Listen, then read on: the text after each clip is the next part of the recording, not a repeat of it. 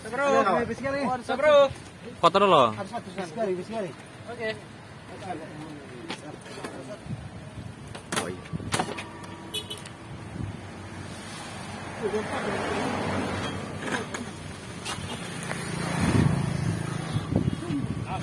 Beliau kalau di forum menyanyi jangan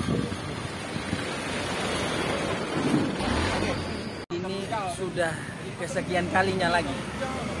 Saya sampaikan bahwa sudah kesekian kalinya kami melakukan penertiban eh, terkait APK-APK yang dipasang yang tidak sesuai pada tempatnya.